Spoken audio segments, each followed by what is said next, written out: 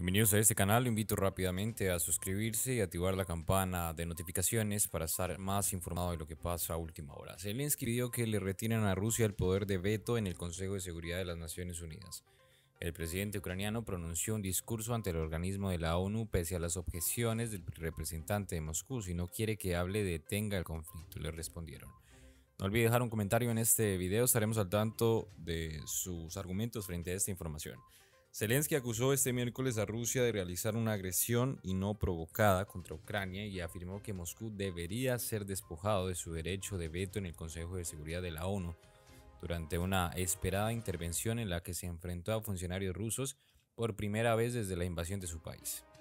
El presidente ucraniano intervino en una sesión especial sobre el conflicto en el poderoso Consejo de Seguridad en el que Rusia es miembro permanente con derecho de veto sobre cualquier decisión.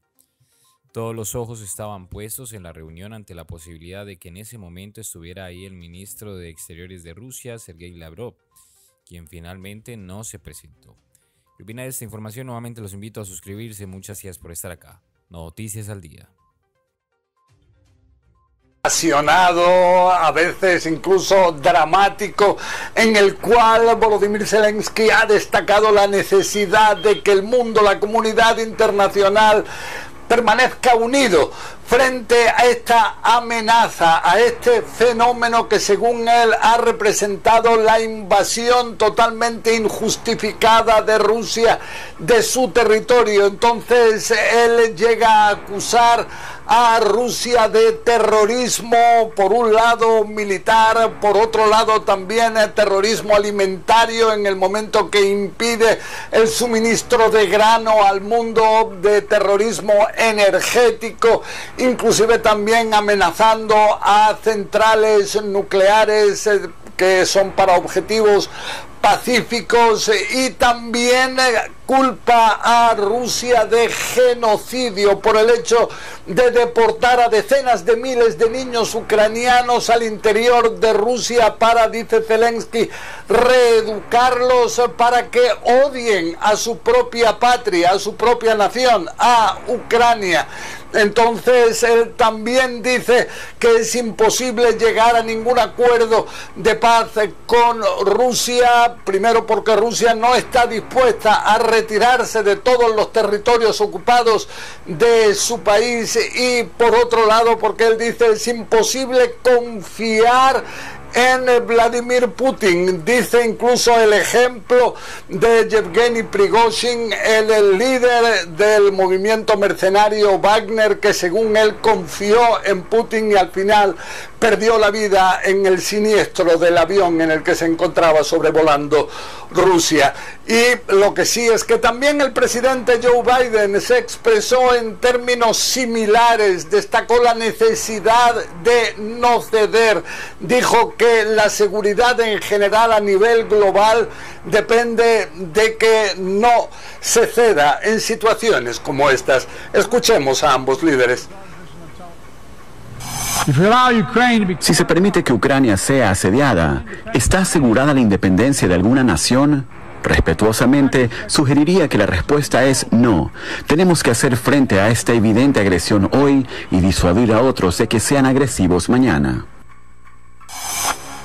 A nivel mundial en esta asamblea, así que invito a todos, a todos los que no toleran ninguna agresión, a que se unan a la cumbre. Y estoy enterado de los intentos de hacer algunos acuerdos detrás de escenas. La maldad no puede ser confiada. Pregúntenle a Prigozhin si cumple con sus promesas. Por favor, óiganme. Esa unidad decide todo de manera abierta. Rusia empuja al mundo hacia la guerra final. Ucrania está haciendo todo lo posible para asegurarnos de que luego de nuestra agresión nadie en el mundo se atreva a atacar a ninguna nación. La conversión de elementos en armas debe ser restringido. Las, los crímenes de guerra deben ser castigados. La gente deportada debe regresar a casa. Y el ocupante debe ser regresado a su tierra y deberemos estar unidos para lograrlo. Lo que sí es que ambos líderes, después de estos discursos, se refirieron a Donald Trump el expresidente de los Estados Unidos, quien asegura que si él vuelve a la Casa Blanca en 24 horas solucionaría este conflicto. Entonces, ¿qué es lo que dijo, por ejemplo, Zelensky en una entrevista a CNN, a Wolf Blitzer? Él asegura que si lo que pretende Donald Trump es que Ucrania ceda territorios soberanos a Rusia, dice que entonces es una pérdida de tiempo, que nunca Ucrania va a ceder sus eh, territorios soberanos. Él eh, junto a esto llama a Donald Trump a exigir realmente que Rusia devuelva todas las zonas ocupadas. Y de su parte, lo que dijo Joe Biden en una cena anoche fue que él nunca se piensa sentar con dictadores, dijo refiriéndose a Vladimir Putin. Y esto ha llevado a que esta mañana el Kremlin eh, condenara estas declaraciones, dijera que el apoyo con el que cuenta Putin en el seno de Rusia también se ha visto en las elecciones es mucho mayor que el que haya tenido nunca Joe Biden en el interior de Estados Unidos. Eh, a que se pueda deber esto, esto ya cada uno lo puede interpretar a su manera. Alejandra. José, y yo lo que te me gustaría preguntarte es cómo interpretar otra cosa y es la ausencia de líderes globales centrales a esta Asamblea General de las Naciones Unidas. Comenté incluso al principio que Joe Biden era el único miembro del Consejo de Seguridad de la ONU presente en la misma y sabemos que obviamente Vladimir Putin no podía asistir porque corre el riesgo de ser eh, arrestado por lo que ocurre con Ucrania. Sí, bueno, vemos que hay cinco miembros permanentes del Consejo de Seguridad de las Naciones Unidas y entonces tan solo eh, Joe Biden, quien es el país eh, de donde se encuentra, de hecho, físicamente las Naciones Unidas, el único que asiste a esta Asamblea General. Están las ausencias de los otros cuatro miembros permanentes del Consejo de Seguridad, al menos de sus presidentes, de Rusia, como dices, de China, también de Francia, del Reino Unido.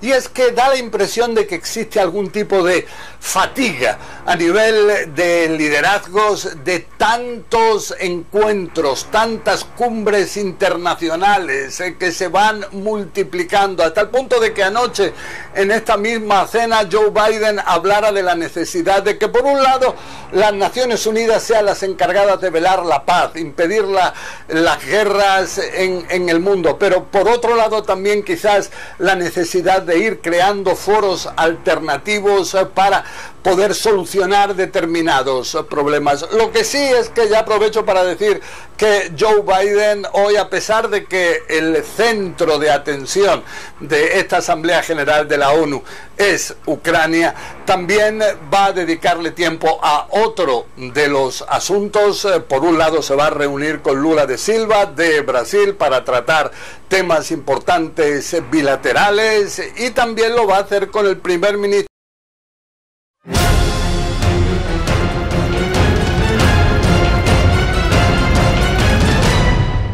Si no te quieres perder de los últimos acontecimientos que pasan en el mundo, suscríbete y activa la campana. Somos Noticias al Día.